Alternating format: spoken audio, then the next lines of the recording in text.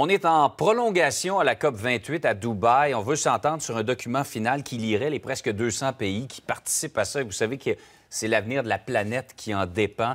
Euh, pas évident de s'entendre sur un texte final. Euh, on va en parler avec Jean Lemire, navigateur, cinéaste, émissaire pour le Québec pour les changements climatiques et aux enjeux nordiques également et arctiques du Québec. Monsieur Lemire, bonjour.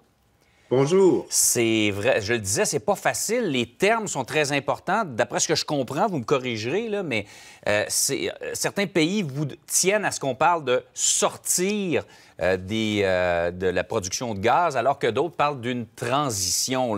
Il y en a qui sont plus pressés que d'autres, disons. Absolument. Et euh, on est vraiment là dans le dernier droit. On attend un texte qu'on espère sera final.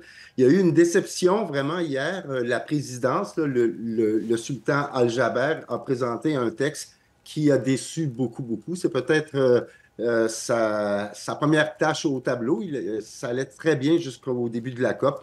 Mais là, tout va se jouer entre ce qu'on dit en anglais le, phase-out, donc sortie mm-hmm. des énergies fossiles, ou le phase-down, donc une, diminution. Euh, il y a plus d'une centaine de pays là, qui euh, veulent absolument qu'on utilise le terme phase-out, donc sortie des énergies fossiles. Mais évidemment, les pays de l'OPEP, euh, l'Arabie saoudite en, tête, s'y opposent fermement. Monsieur Lemay, il y a des gens qui vont dire que l'idée n'était pas pipée au départ. Le sultan Al-Jaber est, impliqué dans le monde de, l'exploitation du pétrole. On est dans un des pays, je pense que c'est le cinquième producteur de pétrole au monde. Il y a des intérêts financiers gigantesques. C'était difficile d'être optimiste au début de cette conférence-là, non?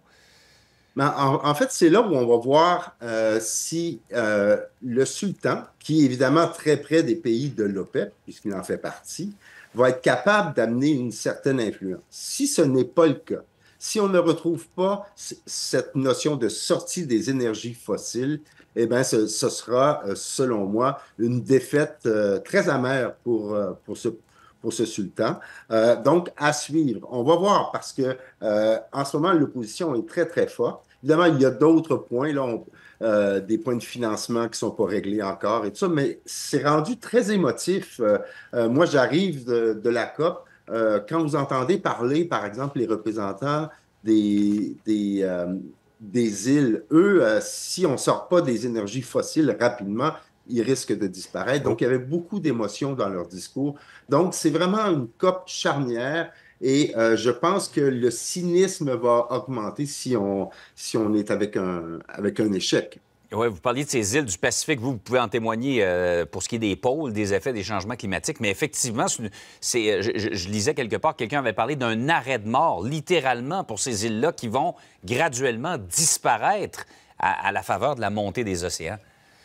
Exactement. Et on le voit bien, ces petites, euh, ces petites îles n'ont pas les moyens pour euh, s'adapter, là, vraiment. Donc, c'est pour ça qu'il y a une grande phase euh, de négociation qui touche sur le financement, parce que ces, ces, premières victimes des changements climatiques, évidemment, sont les pays les plus vulnérables, et ce sont ceux aussi qui ont le moins contribué à, à cette accumulation de gaz à effet de serre. Donc, on est content sur un premier point. Il y a eu un, fonds qui a été voté dès le départ, ce qu'on appelle pour pertes et préjudices. Donc, il y aura de l'aide pour ces petits États, mais il reste encore beaucoup de travail à faire. Absolument. Il reste que le gros de la production euh, des, émissions d'hydrocarbures, c'est la Chine et les États-Unis. Vous m'avez parlé d'une centaine de pays, l'Union européenne, euh, euh, qui, qui, sont plus décidés à aller de l'avant. Euh, où ils se situent, la Chine et les États-Unis, dans tout ça? En fait, les États-Unis ont demandé d'avoir un texte avec beaucoup plus d'ambition. La Chine, c'est toujours difficile. À vraiment savoir ce qu'ils pensent. mais évidemment, il y a eu une rencontre entre les États-Unis et la Chine juste avant la COP et on s'est entendu sur plusieurs points. Donc, on va voir jusqu'à quel point est-ce que, euh, par exemple, le ministre Guilbeault ne sera pas capable de convaincre son, homologue chinois, puisqu'il a passé beaucoup de temps avec lui durant la COP 15 en biodiversité à Montréal. Mm-hmm. Donc, est-ce qu'on va être capable de convaincre la Chine de faire un pas en avant? Vous savez, c'est cette notion nouvelle qui est arrivée. Euh, on veut euh, maintenant considérer deux catégories de, euh, gaz à, effet de serre. En fait, les énergies fossiles où on va avoir des mécanismes de capture de carbone mm-hmm. et les énergies fossiles qui n'auront pas de mécanisme de capture de carbone.